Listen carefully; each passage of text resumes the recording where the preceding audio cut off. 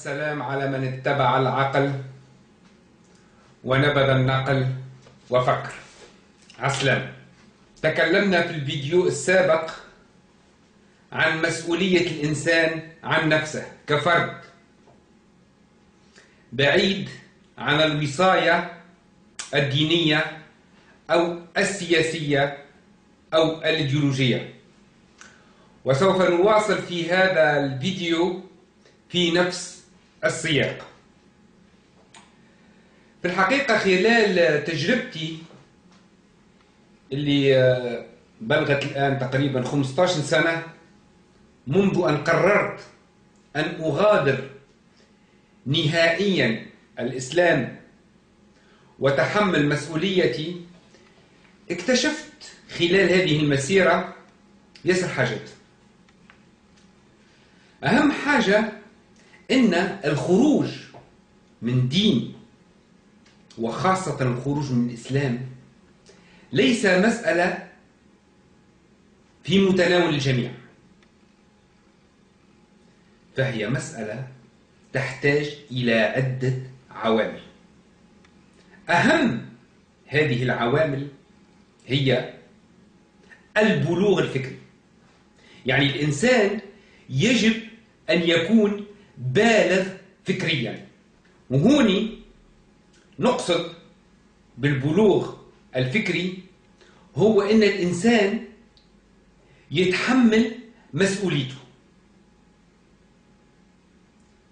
نعرف أحنا اللي الإنسان يعني عندما يولد يولد ثم يمر بمرحلة ما يسمى مرحلة الطفولة ثم يدخل في مرحلة أخرى نطلق عليها مرحلة المراهقة. ثم يصل إلى ما يسمى بسن البلوغ. هذا معناتها إنسان عادي أي إنسان يمر بهذه المراحل ثم مراحل أخرى. أنا أظن أن البشرية تمر بنفس هذه المراحل. فالإنسان ولد في عالم الحيوان بمفهوم إنه ظهر في عالم الحيوان.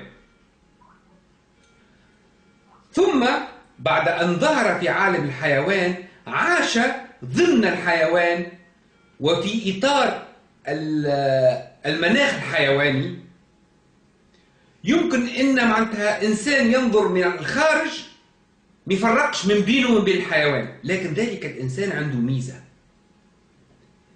ميزة إن هذا الإنسان طور ما يسمى الإدراك والوعي بالأشياء.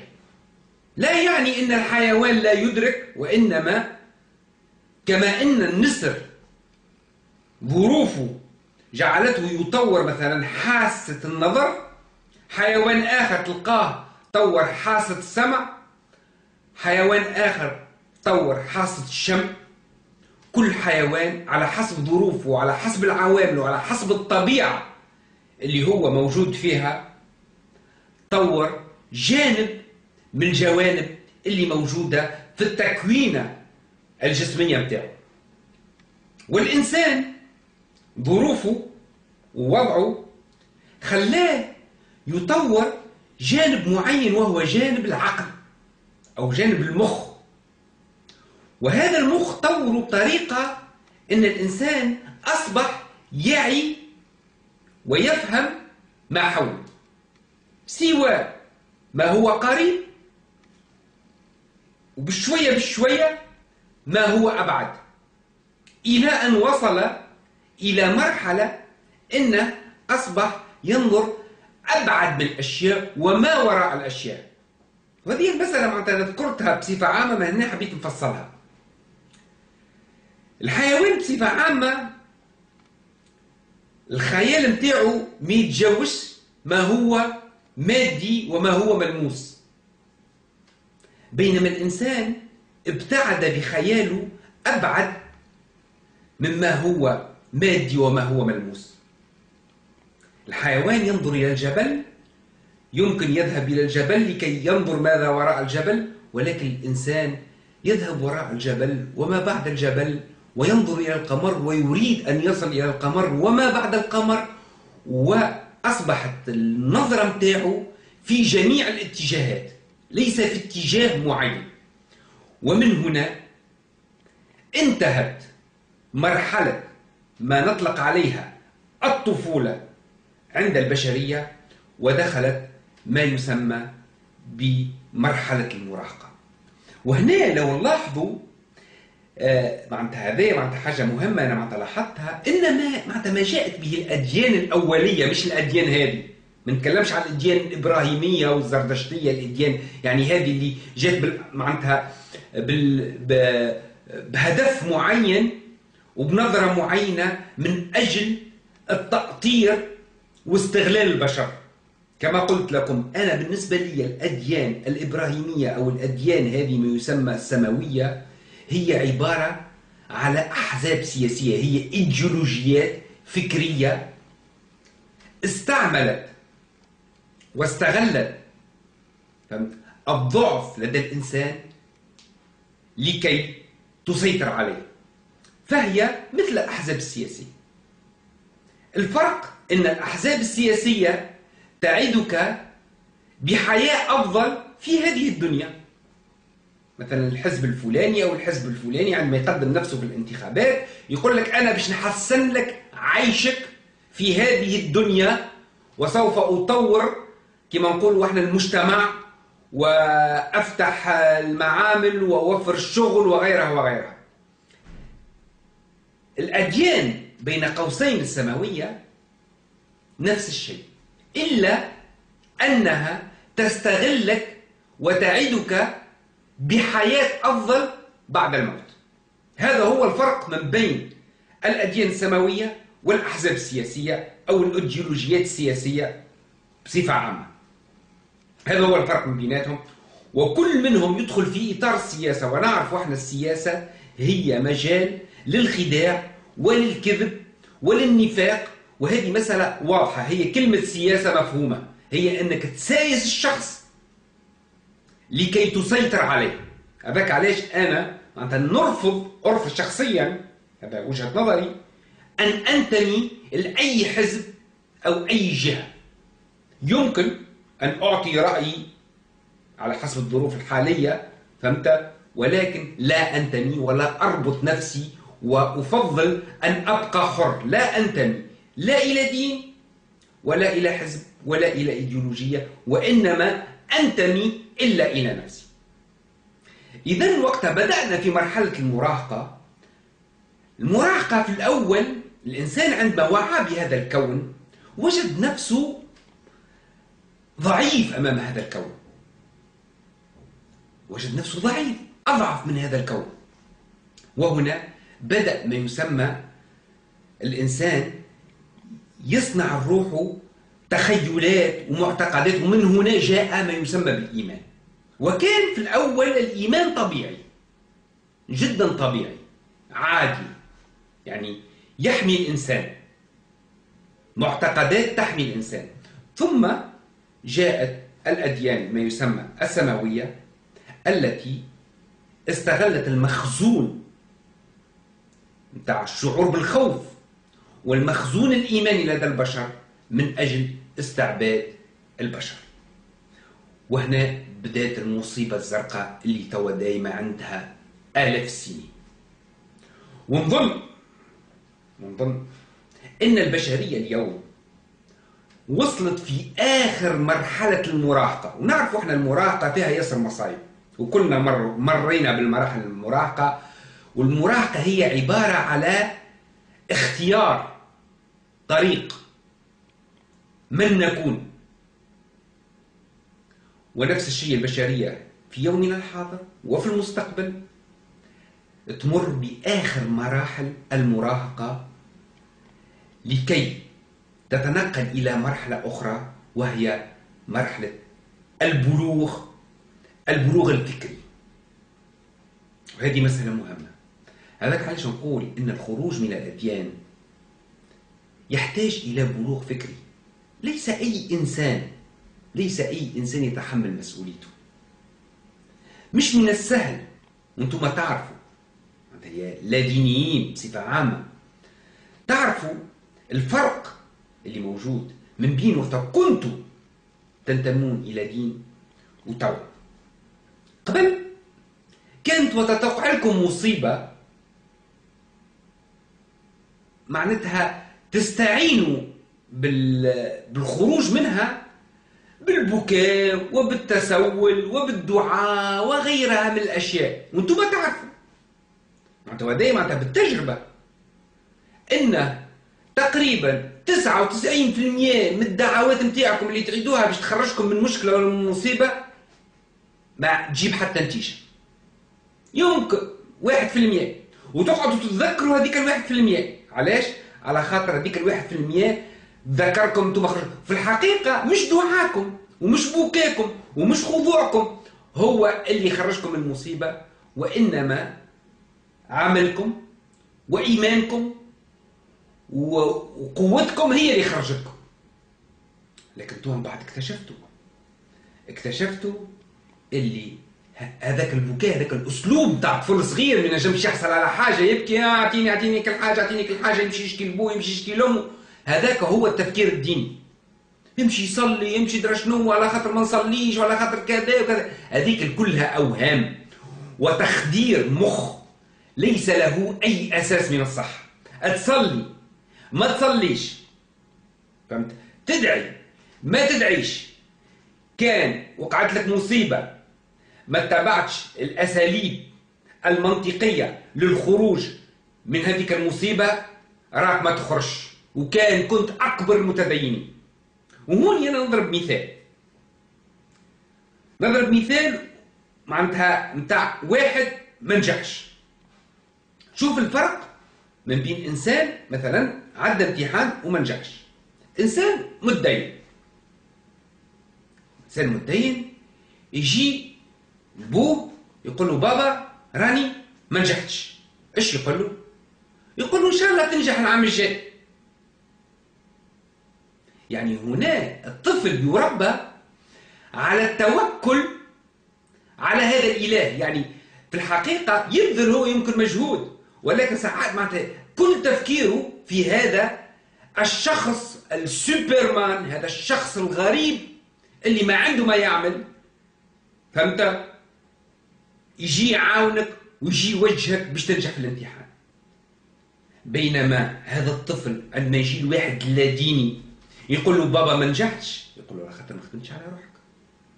هنا يحملوا المسؤولية. ومن هنا نفهم نفهم يعني نفهم اللي راهو الخروج من الإسلام أو الخروج من الأديان ليس مسألة في متناول الجميع.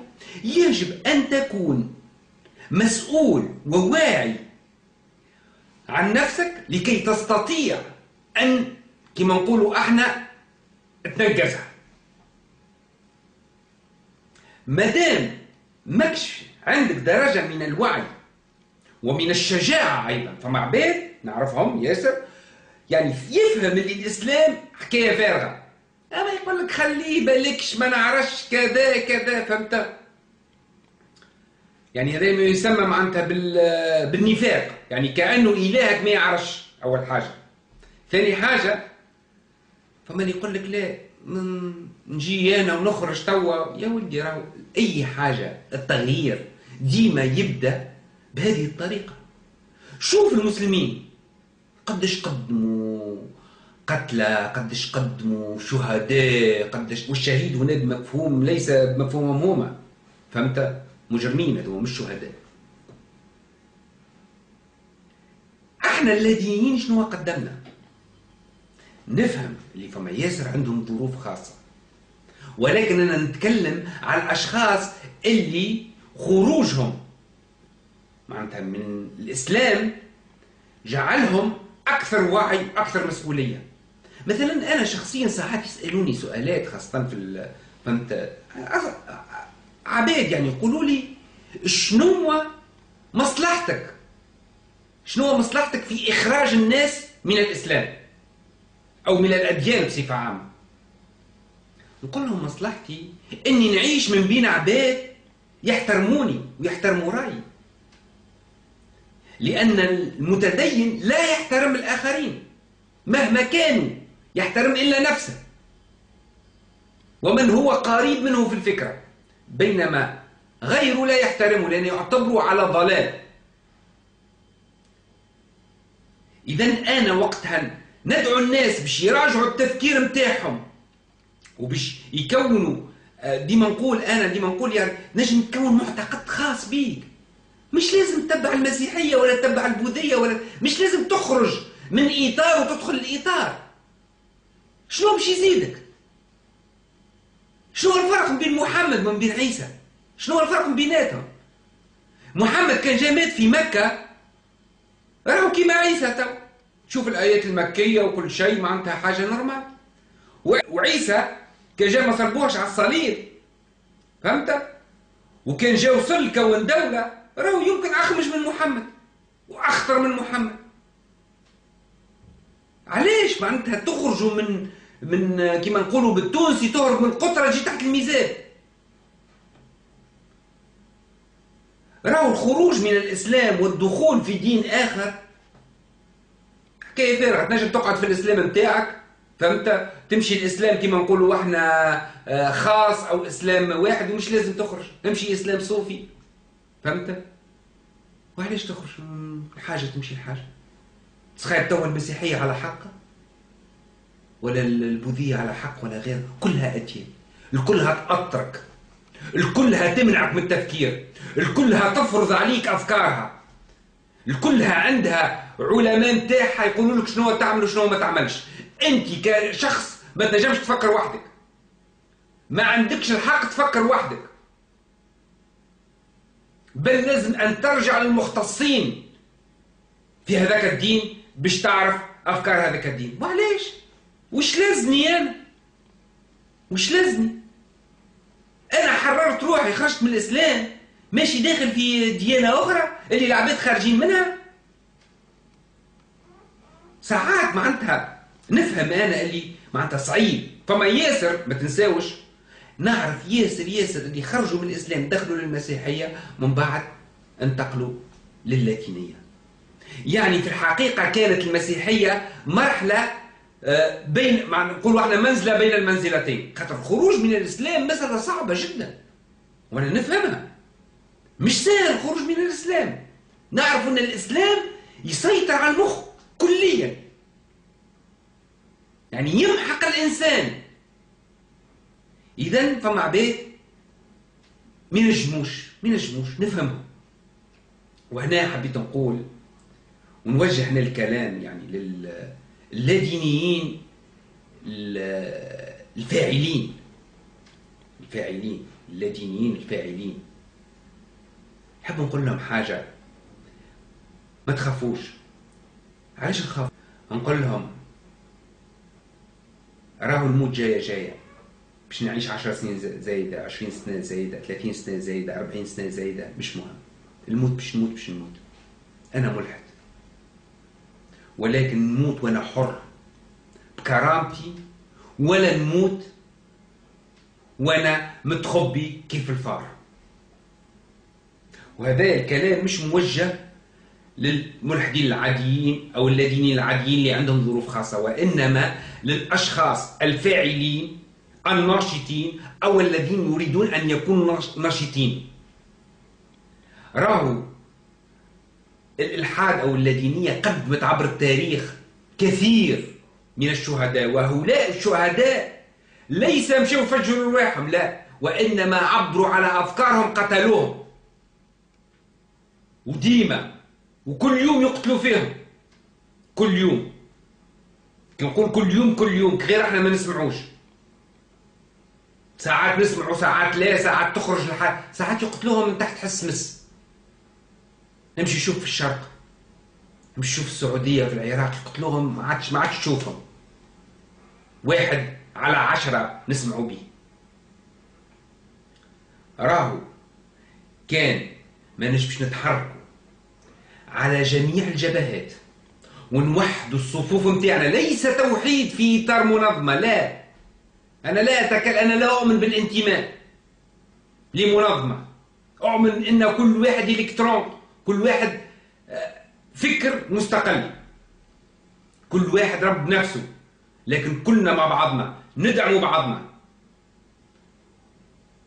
ونشجع بعضنا. وراهو كما قلت لكم ماتوا ياسر. ولازمنا إحنا ما نخافوش من الموت. علاش ما نخافوش من الموت؟ علاش على خاطر ما عندها حتى قيمة الحياة بدون حرية. نعم. وهذا توا الكلام هذا يفهموه الناشطين وال يعني اللادينيين اللي عندهم إيمان. إيمان أما إيمان إنساني. أما إحنا وقت نموتوا نموتوا مش على خاطر قتلنا ولا على خاطر حرضنا على القتل. إحنا ضد العنف مهما كان وضد الفوضى. وإنما مع الحرية بالنسبة لي الحرية الحرية الفكرية هي أهم حاجة في هذه الدنيا. وما دام ما فماش حرية مستحيل نتقدم. مستحيل نحيوها من بالكم. ما دام الدساتير متاعنا ما فيهاش نصوص واضحة تدعو للحرية الحرية الفكرية المطلقة وعندما نقول المطلقة المطلقة راهو ماناش باش نتقدموا إحنا لازمنا نقدموا حرية أفضل من الحرية اللي موجودة في الغرب علاش لا؟ علاش ما نجموش؟ راهو الغرب أنا أحترمه هو متقدم علينا. متقدم نقصد علينا متقدم علينا متقدم على ال... ال... الهمج هذا تاع المسلمين. ولكن إحنا نجم نقدموا فكر متقدم على الغرب للإنسانية كما هما قدموا إحنا نقدموا. نشوف أنا ساعات نسمع فيديوهات متاع معناتها إخوة لاتينيين عندهم أفكار عظيمة. الغرب مازال ما فكرش فيها أصلا.